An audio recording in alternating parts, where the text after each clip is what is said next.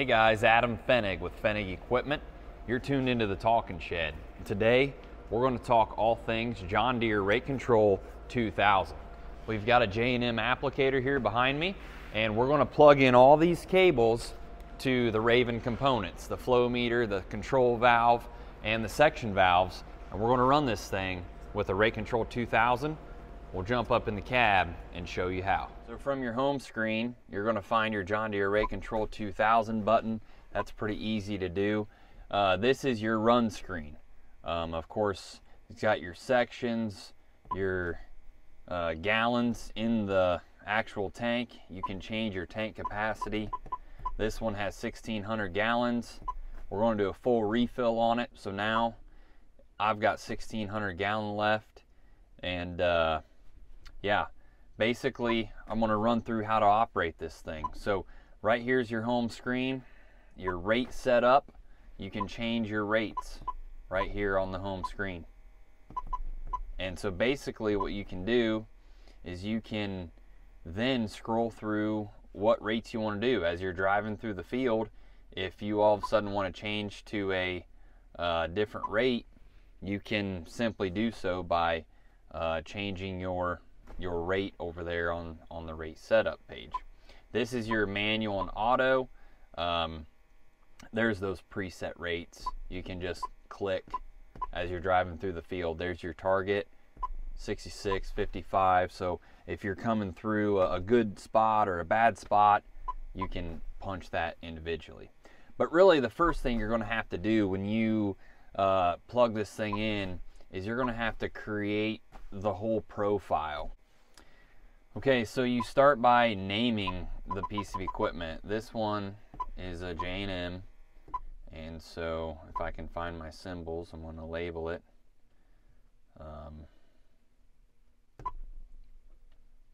I'm just going to name it JM. And it is 40 feet. So, next. And we pick our application mode. Of course, this is just a liquid. Um, liquid product. And you list how many sections. This one is a three section. The widths of them are, my sections are going to be 165 divided by 12, 13.75 feet.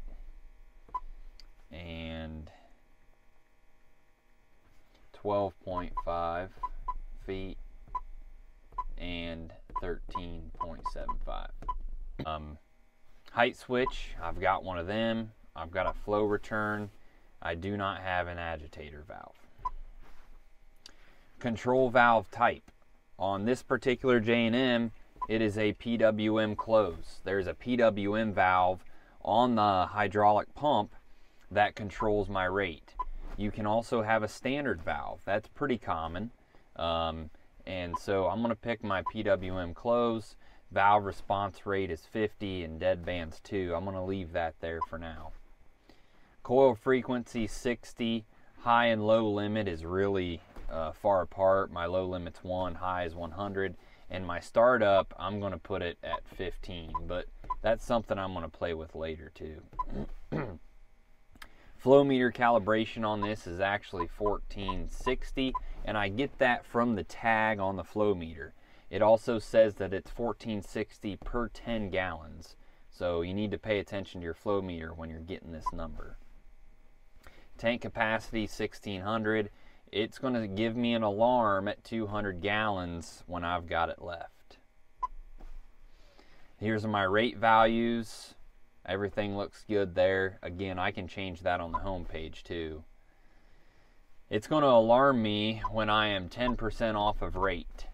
Uh, the price of inputs, uh, we probably need to lower that a little bit. Minimum flow rate, I leave that pretty low. So now I've got that profile changed. It's a J&M liquid fertilizer tool that's 40 feet wide. So then we'll go to settings, and this is where I can set my PWM valve and uh, you know that that's a setup version there we already kind of did it on the back side you can set up your tank which we already did that as well um, there's some setup things in here you can play with um, alarms, that's basically when it'll yell at you if you're off target. And basically, here's your rates. So here's our home screen again. Um, obviously, we're not putting out any product right now, so nothing says anything. From there, I'm going to go to diagnostics. This is a very important page for me um, as I'm setting these up. what I like to go to is I will calibrate my my PWM limits. And what that'll do is that'll dial in my PWM. Right now, when you first get started with a John Deere rate controller or any rate controller with a PWM, it'll take that pump a little while to find its limits. And under this uh, diagnostics and tests and calibrate PWM limits tab, it allows you to do that and it's really handy to do before you go to the field. You can also do some of these other tests. You can do a section control test where you turn on and off certain sections and it should correlate with that back there on the machine.